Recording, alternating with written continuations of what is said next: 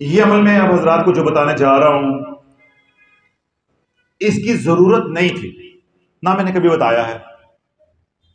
ये जो हफ़्ता गुजरा है, ये वाला, यानी पिछली जुमेरात से लेके आज जुमेरात तक, मुझे दुनिया भर से बीसों लोगों के व्हाट्सएप आए हैं मैसेजेस आए हैं कि पीर साहब हमें हिसाब लगा के बताएँ। हमारा ये मसला है, हमें हिसाब लगा के बताएँ। हमारा बेटा गुम हो गया, हमें हिसाब लगा के बताएँ। हमने बेटी की शादी करनी हमें इस्तखारा करके बताएँ। तो मैं उस सारे एक हफ़्ते की जो रुदाद है, या जो एक हफ़्ते की जो रिपोर्ट है, या उम्मत का जो बिल अमूम रवैया है, उससे परेशान होकर ये अमल बता रहा हूँ। तो किसी की इसलाह हो जाए। पहली बात नुकते की अल्लाह वालों याद रख लो कि दुनिया में दो फ्रॉड हैं। दो फ्रॉड हैं, उनका कोई निमल बदल नहीं है। उनका कोई निमल बदल नहीं वो अजल से चले आ रहे हैं क्या मत तक रहने हैं। कोई बात जेन में रही है कि कौन से दो फ्रॉड वो हो सकते हैं? एक पैसे डबल करने वाला और एक गैब की बातें बताने वाला। ये दो ऐसे फ्रॉड हैं, हर दौर में थे, हर दौर में रहेंगे और क्यामत तक रहेंगे। आज भी पैसे डबल करने वाले जगह जगह बैठे हैं। यानी हम पहले जमाने में बचपन में सुनते थे हम कहते थे उसमें लोग पढ़े लिखे नहीं, नहीं होते थे मीडिया नहीं था जाहिल थे। तो आज भी लुट रहे हैं। अभी पिछले दिनों मैंने पिछले हफ़्ते मुझे किसी ने बताया। वो जी हमारे घर में आ गए उन्होंने पता नहीं क्या पढ़ा हमारी अकल ही मारी गई सारा कुछ ले गए बल्कि ये जो साउंड नहीं लगा रहा था ये बच्चा जो साउंड लगा रहा है इसके भाई का घर लूट के ले गए मैं मेरे जेन में आ रहा था, किसी ने मुझे बताया है। इसके घर घर लूट के ले गए घर में मौजूद है। उन्होंने औरतों को ऐसा हिप्नाटाइज किया है, लूट के ले गए पैसे डबल करते करते। औरतें अंदर से पैसे निकाल निकाल के दे रही हैं डबल करा रही हैं। हैं? वह अकरजुल्लाह का कभी काश कुरान पढ़ा होता। तो अल्लाह को देते, अल्लाह सौ नहीं, लाखों नहीं, अपने शान शान जर में लगा के तो अल्लाह वालों, दो फ्रॉड इस दुनिया में हैं। एक पैसे डबल जैसे पैसे डबल नहीं होते, ऐसे अल्लाह वालों सहारे में भी कुछ नहीं होता। सबसे बड़ा जमाने का झूठ यह है कि मैंने हिसाब लगा के बताया है, ये इसकी शादी इसके साथ ठीक रहेगी। इसकी शादी इसके साथ ठीक रहेगी। जिसके पास ये इल्मुल अदाद है, वो बताता नहीं जिसके पास इल्मुल अदाद ही नहीं है, वो सारे जमाने को बताता है। अब मैं डॉक्टर हूँ तो मैं किसी भी मरीज़ को देखता हूँ तो मैं फ़ीस लेता हूँ उसकी। मुफ़्त नहीं चेक करता फ़ीस लेता मेरा कारोबार है, मेरा पेशा है। ठीक है? तो जिसके पास इल्मुल अदाद है, वो यहाँ बैठ के मुफ़्त बांटेगा। मुफ़्त बांटेगा। फिर ना वो अवाम नास को समझ आएगा। तो जिसके पास है, वो बताता नहीं। जो बताता है, वो जानता नहीं। तो अल्लाह वालो, ये दो ऐसे फराड हैं जिन्होंने उम्मत का ईमान छीन लिया है।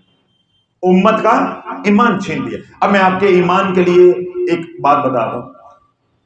अहमद रजा खां बरेलवी रहमत आपके पास एक अदाद का माहिर आया। वो ऐसे जैसे आप हजरात मेरे सामने बैठे हुए हैं, वो पास बैठा, उसने सारा हिसाब किताब लगा के ना पर्ची बना के मौलाना अहमद रजा खां बरेलवी रहमत के सामने पेश कर दी। उन्होंने, उसने कहा कि आपके ऊपर ये वाली घड़ी जो है ना, ये मनहूस आने वाली है और आपका बड़ा नुकसान हो जाएगा। यानी आपकी जान, माल, औलाद को तकलीफ़ पहुंचेगी। तो मौलाना अहमद रजा खान बरेलवी रहमत मुस्कराए, उस जमाने में ये वाली घड़ियाँ डिजिटल नहीं होती थी। उस जमाने में घड़ियाल होते थे सुइयों वाले। क्या होते थे? सुइयों वाले। इतफाक की बात है कि जो घड़ियाल था वो पीछे लगा था मतलब हम रेली रहमत यानी जिस तरह मैं बैठा हूँ, पीछे घड़ी लगी थी, वो घड़ियाल बड़ा सा बड़ी सी घड़ी लगी हुई थी। आप उठे, उस आमिल को कहा कि कितने बजे हैं? उसने कहा जी बारह बज गए। सुई पे सुई चढ़ी हुई थी ना, कितने बज गए? बारह। आपने सुई पकड़ी, उसको यूँ किया, दो बजा दिए। कितने बजा दिए? दो। तो फिर सवाल किया, बारह रह गए। बारह रह गए हैं। उसने बारह तो गुजर गए हैं। बारह तो गुजर गए हैं। अगर मेरे नसीब में बारह बजे तकलीफ़ आना लिखी है, मैं घड़ी का मालिक हूँ। मैंने वक्त को बदल दिया है। वो तो सारे जमाने का मालिक है। वो तो सारे जमाने का मालिक है। वो मेरी तकदीर को क्यों नहीं बदल सकता? मैं घड़ी का मालिक था, मैंने वक्त बारह है, मैंने दो बजा दी, मेरी मर्ज़ी, मेरी घड़ी है। ये कायनात उसकी है, तकदीर में लिखा है कि अहमद रजा खान बरेलवी के को तकलीफ़ आनी है, लेकिन वो फैसला बदल चुका है। वो फैसला तकदीर में लिखा बदल चुका है। तो वो मेरी मुसीबत को जो है, वो टाल देगा। किसी भी बहाने में उसको उस वक्त को निकाल देगा। जिस तरह तू मुझे वक्त आगे पीछे करने पे रोक नहीं सका, एक बंदा होके बंदे को नहीं रोक सका तो बंदा होके खुदा को कैसे रोक लेगा? तो अल्लाह वालों, मैंने ये बात इसलिए कही है कि अपना ईमान बनाओ। खुदा का वास्ता हाथ जोड़ता हूँ। कभी मुझे भी मैसेज ना किया करो। हज़रत साहब ये हिसाब लगा के बताएँ जी ए मुंडा ते ए कुड़ी, एदी माँ का ना ए एदी माँ का ए ना। और बेशर्मो अपनी औरतों के नाम हमें बताते हो। इतना तो कंजर भी कंजरपन नहीं करते। वो भी अपने घर के माँ का नाम नहीं बताते। इतना ही मुसलमान तो बेशर्म हो गया है कि मैं नामहरम हूँ। मैं जानता तक नहीं, अपनी बेटी का नाम, माँ का नाम, अगर पूरा शजरा मुझे सेंड कर देते ना मुझे, अता ना पता। तो मैं दो मिनट बाद दोबारा मैसेज कर दू, हाँ जी, कर लो। तो तू फटे चढ़ जे, तू आप मेरा क्या बिगाड़ लोगे? क्या कर लोगे? कौन जिम्मेदार होगा? तूने एक वो शख्स जो पाकिस्तान में बैठा है कनाडा से मैसेज आ रहे हैं, स्पेन से मैसेज आ रहे हैं, कोरिया से मैसेज आ रहे हैं, इंग्लैंड से मैसेजेस आ रहे हैं। जी, हमारा हिसाब लगा के बताएँ, हमारे बच्चे का हिसाब लगाएँ, हमारा फलां का हिसाब तो पाकिस्तान तो खैर अन्नी पाई है ना, हिंदुस्तान, पाकिस्तान, बांग्लादेश, श्रीलंका, नेपाल, अफ़गानिस्तान, ये तो जहालत के पंडे हैं ना, लेकिन उम्मत बिल अमोम जहालत की पंड बन गई हुई है। मैं, मेरी जान पहचान नहीं, मैं झूठा शख्स हूँ, दो नंबर हूँ, एक नंबर हूँ, ये पीरी मुरीदी, मैं महज अल्लाह की रजा के लिए करता हूँ, या मेरा को कारोबार है कुछ जान नहीं। मेरे पे भरोसा कर रहे हो, अपने रब पे भरोसा नहीं। अल्लाह कहता है, फकुल हसबी अल्लाह तवक्कल तो वह रब्बुल मेरे पे भरोसा करो। जो अल्लाह ने शौर दिया है उसको इस्तेमाल करो, अपने अजीजों कार में मशवरा करो, बहन भाइयों से मशवरा करो, परखो रिश्ते को, आओ, जाओ, दो, चार, पाँच दफ़ा मिलो, फिर अल्लाह की बारगाह में हाथ उठा के दुआ करो, या अल्लाह, जो तूने हमें कुदरत दी थी, हमने अपनी बेटी के लिए हर तरह तसल्ली की, हमारा दिल तूने मुतमिन कर दिया है। सोने अब तू भी राज़ी हो जा। हम राज़ी हैं, तू भी राज़ी हो जा। अगर कोई बुराई भी है, कोई इसमें अंदर कोई बाद में आने वाला कोई शर भी है तो सोने शर भी तो तेरी तरफ़ से है ना। खैरी ही व शर मिन तेरी तरफ़ से तो तू या अल्लाह खैर को शर में बदल देता है तो शर को खैर में क्यों नहीं बदल सकता? तो कोई हमारी बेटी के मुकद्दर में ऐसी बात लिखी है, ये हम हमारा होने वाला बेनोई, हमारा होने वाला दमाग या ये जो हम कारोबार कर रहे हैं, प्लाट खरीद रहे हैं, वगैरह वगैरह, जो कुछ भी नया काम कर रहे हैं, हमारे लिए ये ठीक नहीं है। तो सोने फिर वो दर बता दे जहाँ ठीक होता है। अगर ये ठीक तूने नहीं करना तो फिर हमें वो जगह बता दे, उस मलंग का पता बता दे जहाँ से ठीक होता है। तो ठीक भी तो तूने करना है। तो तू ठीक कर दे। तो अल्लाह जब ये ईमान होगा, ये जज्बा होगा तो इस्तखारा करवाओगे? आज के बाद कौन कौन मुझे मैसेज करेगा, दोनों हाथ खड़े करें। करोगे आप मुझे? कहोगे इस्तखारा करने? तो इस्तखारा अल्लाह वालों, मैं आपको तरीका बताता हूँ। आपको हज़रत साहब, ये ये गिदड़ सिंह थी, जिसके लिए हम पागल हुए हुए थे।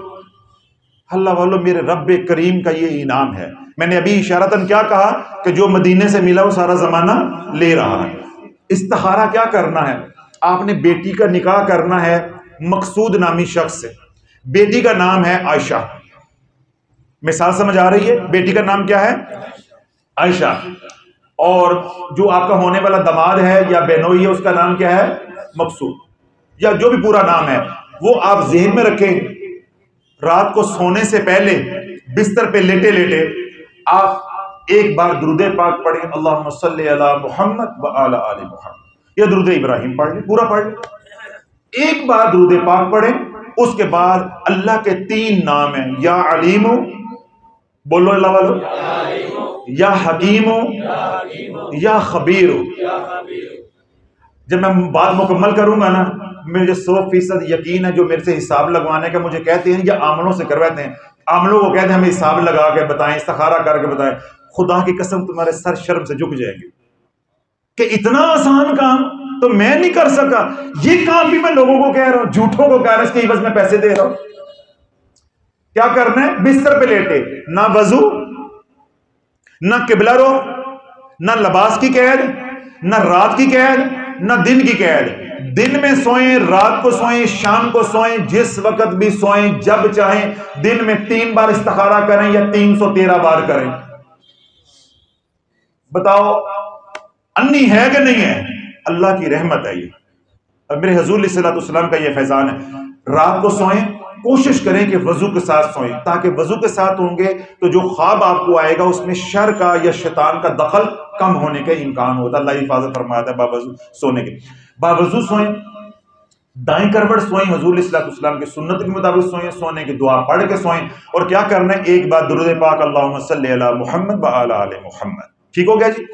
या अलीम या हकीम या खबीर। अलीम, हकीम, खबीर। या अलीम, या हकीम, या खबीर। या अलीम, या हकीम, या खबीर। या अलीम, या हकीम, या खबीर। या अलीम, या हकीम, या खबीर। अल्लाह वालों अब तो याद हो गया। है इतनी बार तो बच्चे को पढ़ाया भी याद हो जाता है। ये अल्लाह के तीन नाम हैं। ऐसे इकट्ठे पढ़ने जैसे मैंने बार बार पढ़ के आपको समझाने की कोशिश की। या अलीम, या हकीम, या खबीर। ग्यारह बार पढ़ने, बस। कितनी बार? कितने घंटे लगेंगे? शर्माइए कुछ। कुछ शर्माइए। हल्ला वालों, पाँच सेकंड का काम है। पाँच सात सेकंड का काम। अल्लाह मसल मोहम्मद, या अलीम, या हकीम, या खबीर, या अलीम, या हकीम, या खबीर, या अलीम, या हकीम, या खबीर।